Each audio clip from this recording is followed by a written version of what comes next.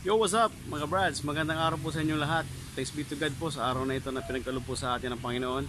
Um, sa araw na ito, sasamahan ko ulit si, uh, si Boy Boy na magbalik ng kanyang module sa school.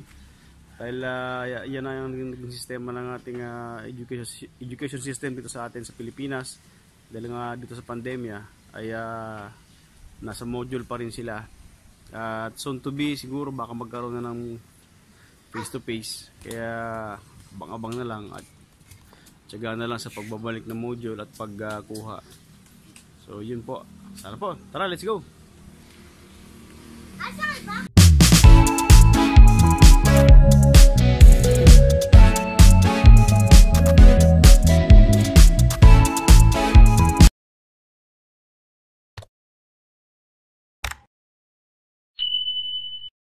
Let's go! Paano ba I've been living life right like I could just die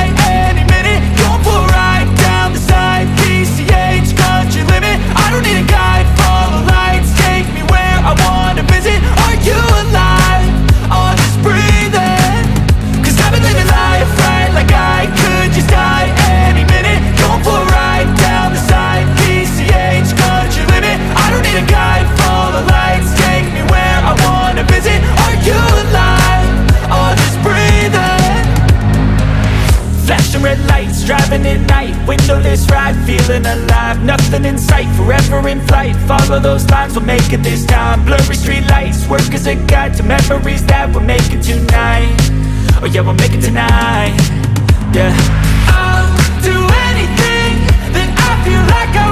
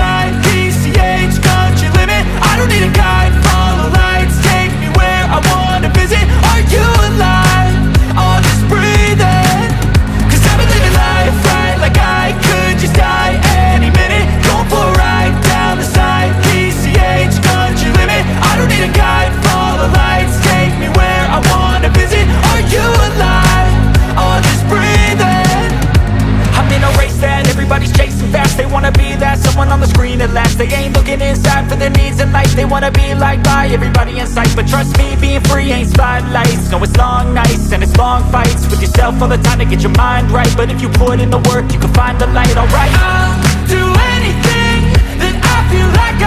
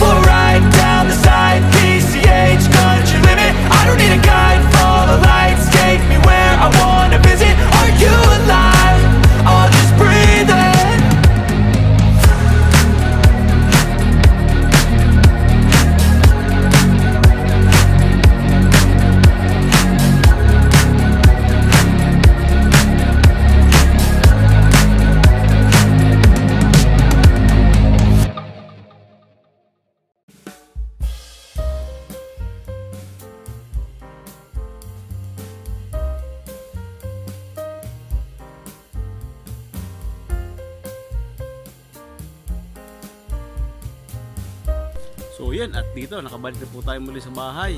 At talaga napakahigpit pa rin po talaga sa school.